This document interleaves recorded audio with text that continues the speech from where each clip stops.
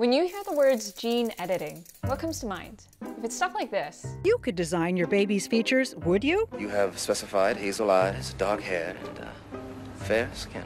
He Jiankui stunned the scientific community with the claim he pushed the boundary no one else had. They are twin girls whose DNA he claims to have altered when they were embryos. Then you should probably know that in most countries around the world, embryo editing is currently prohibited. And researchers agree that it's unethical to edit the human genome in a heritable way given the current state of the science. But with the first gene editing therapy recently winning approval in the US and the UK, a small group of scientists are taking a harder look at using the same technology to treat genetic diseases even earlier, before damaging symptoms set in. That's where in utero gene editing, or prenatal somatic cell genome editing, comes in. The field of prenatal uh, genome editing is not about germline editing. This is not about editing embryos in a dish. This is really um, trying to provide a better medical care for a fetus in the second or third trimester who would otherwise be born with a severe genetic disease. Research in this area is still years away from clinical trials, but here's how it would work.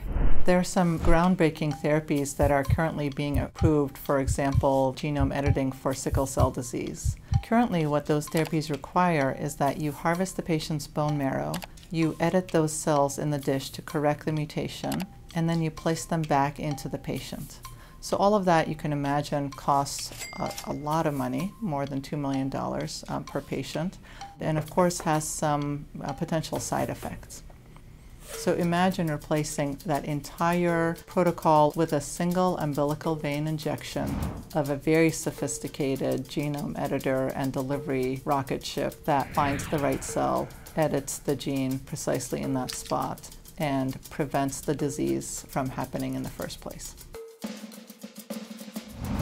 So while many companies are developing postnatal gene editing treatments, there are four main reasons why some scientists believe that in utero gene editing might be an advantageous approach. 1. The small size of the fetus means a much smaller dose of the therapy will be required to treat enough cells to change the course of the disease. 2. A fetus is immunologically immature, which means that CRISPR components, specifically the Cas9 protein, can be delivered without an immune response. The fetus would be able to pick it up better than a newborn baby, whose immune system might try to ward it off. 3.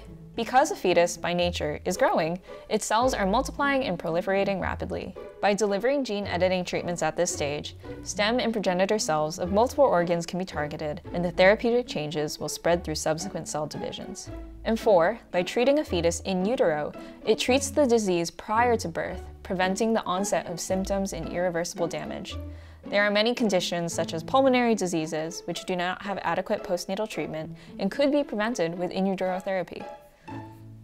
So if all this sounds like far future science fiction, you're not alone, but it actually might arrive sooner than you think. There are preclinical studies underway with mice, sheep, and monkeys to try to answer some of these basic questions we have around in utero gene therapy, such as Will the therapy accidentally affect a fetus's germline? Because the treatment is given in utero, will it compromise the mother's health? The field of genome editing, of course, is moving in leaps and bounds. So I think it's hard to predict exactly when we're going to, you know, achieve the kind of safety and efficacy we need to treat a patient. The best I can say is I'm really hoping it'll be within my career.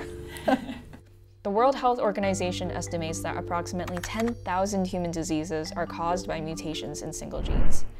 If doctors can safely treat them in utero, the more ethically fraught enterprise of embryo editing begins to look even less compelling. Most importantly though, it could potentially improve the quality of people's lives before they've even started.